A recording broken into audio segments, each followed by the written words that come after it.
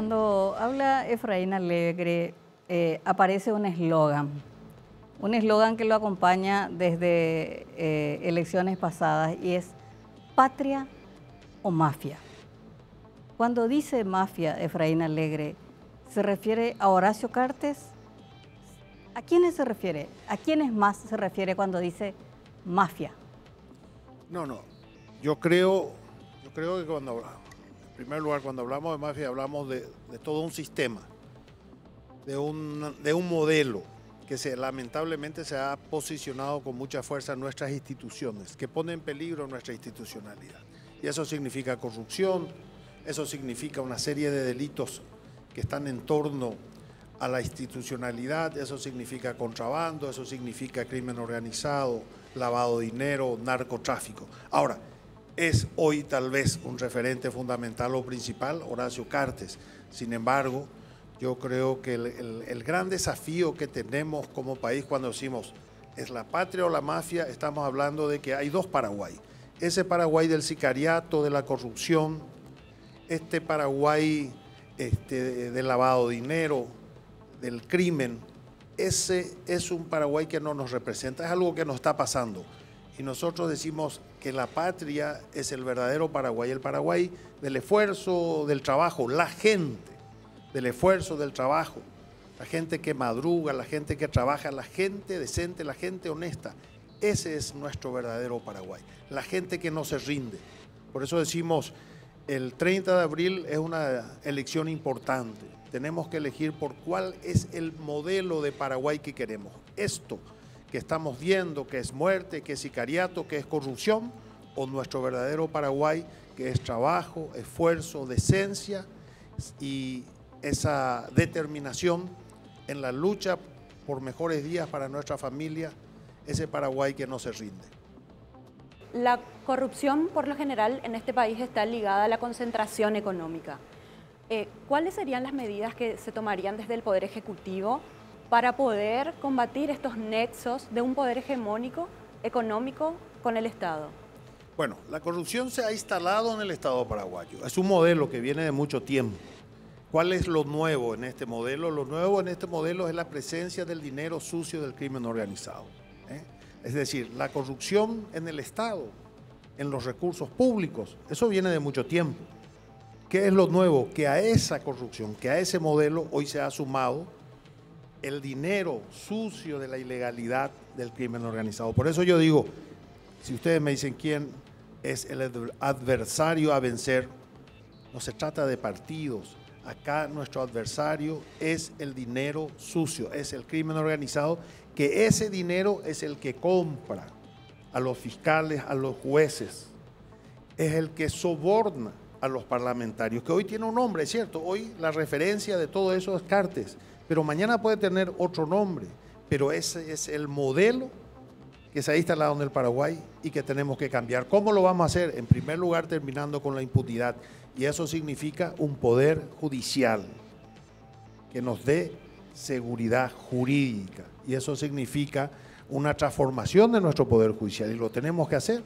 Y eso pasa por la selección misma de, nuestras, de nuestros jueces. Hay todo un proceso que hacer. Eso significa combatir la corrupción que está instalada en la policía, que está instalada en la frontera, que está... Miren, miren, si uno se pone a analizar, esa corrupción que hablamos, esa mafia está instalada en cada lugar. Si uno se pone a analizar por qué fracasamos en salud, es la misma cosa, es la misma corrupción, es la misma mafia. Si nosotros nos ponemos a analizar por qué el IPS todo lo que vemos día a día en IPS.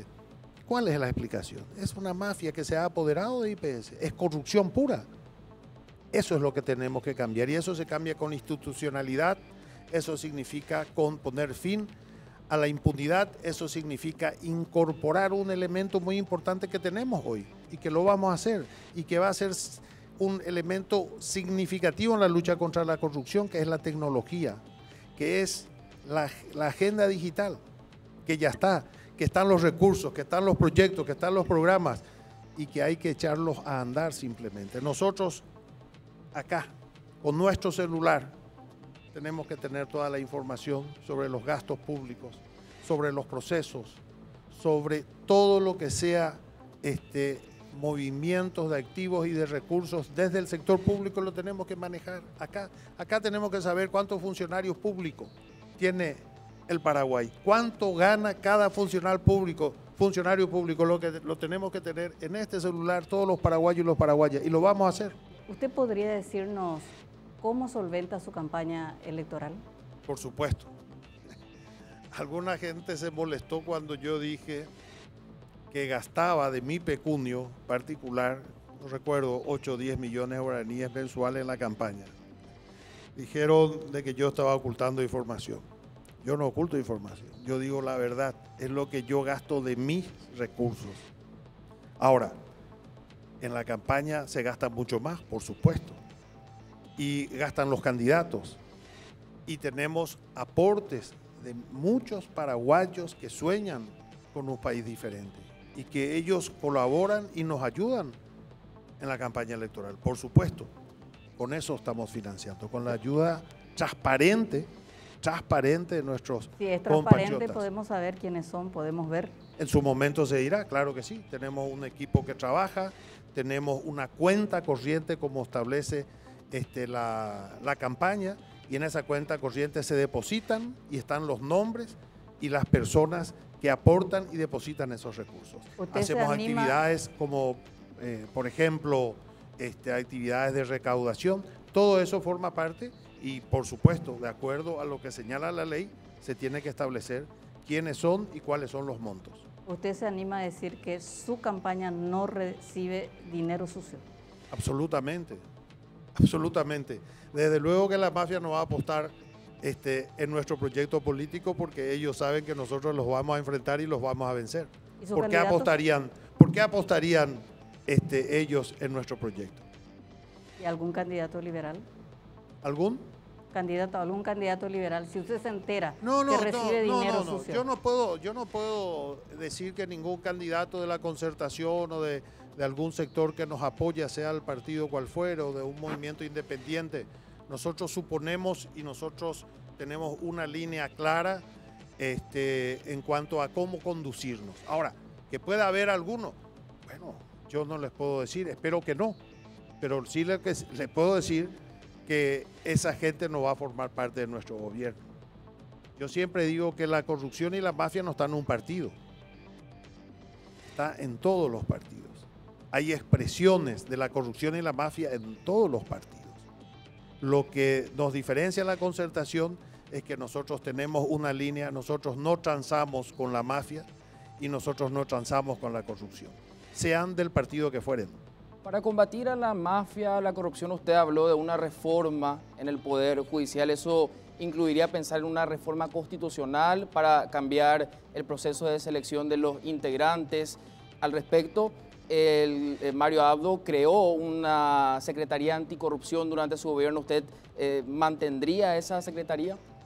Bueno, en primer lugar nosotros no creemos, digo nosotros porque formamos parte de un proyecto que estamos trabajando con un gran equipo, nosotros no creemos de que haya necesidad de una reforma constitucional. Eh, las reformas que tenemos que hacer podemos hacerlo en primer lugar con una decisión política y en segundo lugar hay algunas cosas que se pueden hacer por ley. Hay cosas, hablábamos del proceso de selección de magistrados, que sabemos todas las trampas que se hacen. Ahora vimos hace poco cuando se estaban este, haciendo exámenes para los ministros de la Corte. Veíamos que se hacían trampas, muy sofisticadas, por cierto, con complicidad, inclusive de quienes forman parte del Consejo de la Magistratura. Entonces, lo que nosotros decimos, tenemos que garantizar un proceso transparente y que la selección esté realmente este, sustentada en elementos, eh, eh, en, elementos totalmente objetivos, no subjetivos. Esos concursos donde hay un 30 o un 40% porque se hace una entrevista o porque se considera historias, esos son parte de la trampa, el show, para no hacer lo que hay que hacer. Tiene que ser el 100% objetivo de tal manera que aquel que se presenta, que concursa, gana por sus méritos no por recomendación alguna. Y que esa persona que va a ser magistrado sepa que está ahí porque él se ganó por sus méritos, no por recomendación de nadie, no le debe a nadie. Esa es una condición fundamental. No, requerimos ni- ninguna reforma constitucional. Hay cosas que se, tal vez se puedan hacer por ley, hay otras cosas que ni siquiera se necesita una ley.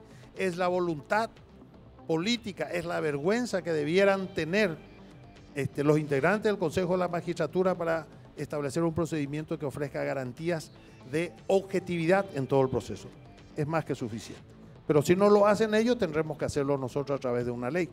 Pero digo, no se trata de una reforma constitucional, no es necesario. Hoy nosotros, la concertación, en realidad somos la seguridad del cambio. Sin embargo, el continuismo representa la incertidumbre, el aislamiento. ¿eh? Vamos a terminar seguramente como Nicaragua, si es que no tuviéramos alternancia y cambio en el Paraguay. El mundo nos está encerrando porque estas conductas de este modelo de Peña y de Cartes ya no son toleradas por el mundo. Hay una justicia internacional que toma decisiones y que nos está aislando del mundo. Entonces, nosotros realmente representamos la seguridad. Ellos representan la incertidumbre. Todos estamos a ver qué va a pasar en estos días. Esa es la realidad. Eso representan ellos. Nosotros representamos, en primer lugar, una política y representamos una trayectoria. Acá no estamos, ninguno somos improvisados. Yo no soy ningún improvisado. Yo vengo del Congreso, conozco la visión del Estado desde el sector este, legislativo, todo lo que significa, y vengo también desde el Ejecutivo, conozco desde adentro. Sé lo que se puede hacer, lo que tenemos que hacer. Tengo liderazgo. Yo no tengo patrón. Yo tengo un liderazgo, tengo una visión y tengo un compromiso con el pueblo.